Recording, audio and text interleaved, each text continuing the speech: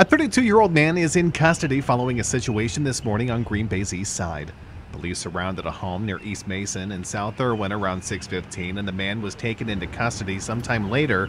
We are working to learn more about the details leading up to this incident and what charges the man could be facing. Please stay with NBC 26 on air and online as we continue following this story.